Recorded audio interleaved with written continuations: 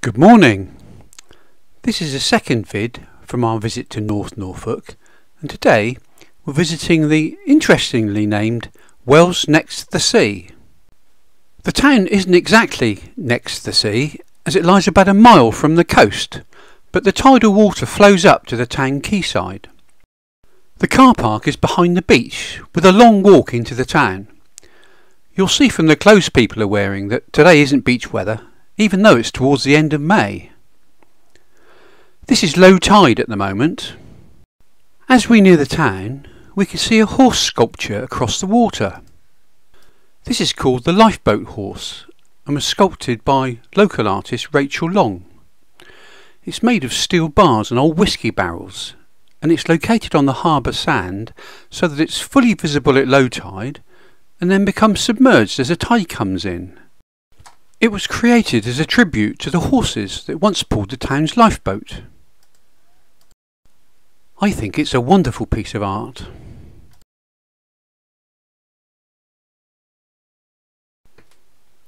Fishing and tourism are two of the main industries here now. This distinctive landmark on the quayside is the granary with its overhanging gantry on the quay, built in 1905. Like so many old industrial buildings, this is now being converted into flats. You can't have a seaside resort without seaside rock or a fish and chip shop. Now we've arrived at Staithe Street. We're going to have a wander up here and back. Just take a look at some of the marvellous shops along the street. It's a bit like stepping back in time.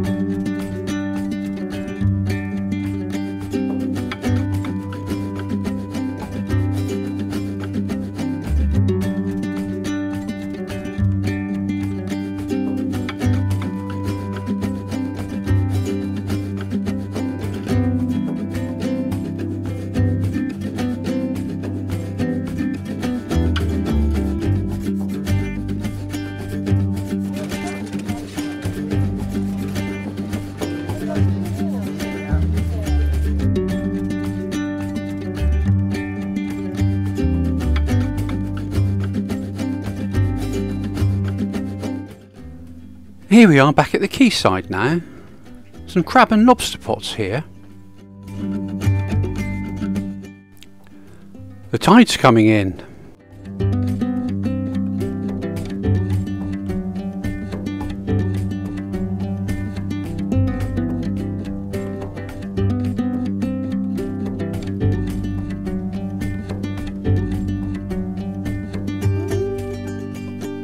We'll catch the train back to the car park. And here it is. Just need to turn the engine around for the trip back.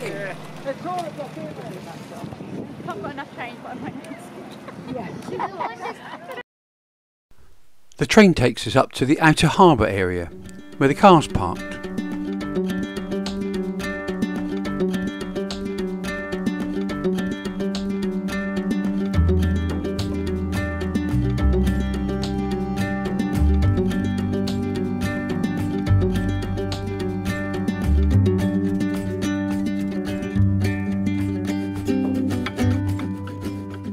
Another important industry here is support for the wind farms out to sea. These boats take the engineers out to the turbines offshore. The crane here is mounted on a boat and used to dredge the channel from the town up to the coast. Here's the lifeboat station. No horses needed now to pull the boat. High tide at 3 in the morning and 3 o'clock in the afternoon at the moment. It's one o'clock now, so the tide is coming in. I said at the beginning of the vid that this wasn't a day to go to the beach. But if you did go, you might see one of these. If you haven't subscribed, please help our channel to grow by subscribing and giving us a thumbs up. I'd be really grateful. Thanks for watching.